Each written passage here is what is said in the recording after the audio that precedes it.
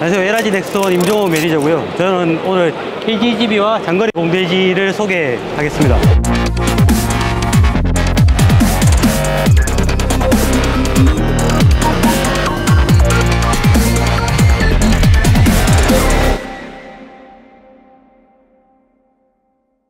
코리아 GPS 가이디드 밤으로 저희 멍텅구리탄에 GPS 유도 키트를 장착을 하여 지금 사거리를 연장해서 지상에 있는 타격체를 공격하게 만든 겁니다. 그래서 지금 이 군에 있는 멍텅구리 탄에 대한 양이 많은데 그것들 유도 키트를 장착을 해서 뭐 개조를 해서 또 다른 무기 체계를 만들어내는 그런 무기입니다.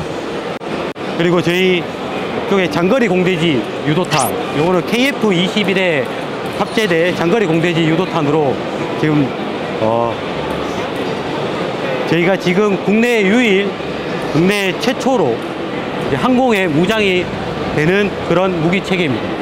네, 안녕하십니까. LG 넥스원 PJ 미사부 김병만 매니저입니다. 어, LG 넥스원에서는 한국형 미사일 방어 체계 구축을 위해서 최선의 노력을 다하고 있습니다.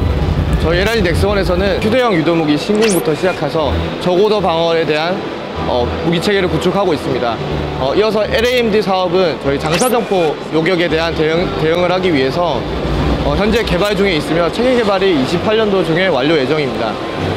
그래서 청공 유도탄은 현재 그 지대공 유도탄으로 중거리에 대한 중고도 방어를 위주로 목표를 하고 있습니다.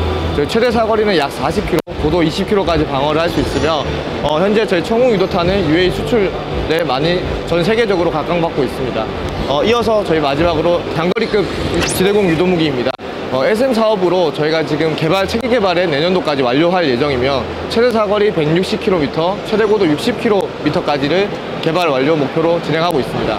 LIG 넥스원에서 개발 중인 장사정포 요격체에 대해 설명드리겠습니다. 흔히 아시다시피 한국형 아이언돔이라고 불리는 장사정포 요격체계는 현재 지금 탐색 개발에 진행 중입니다.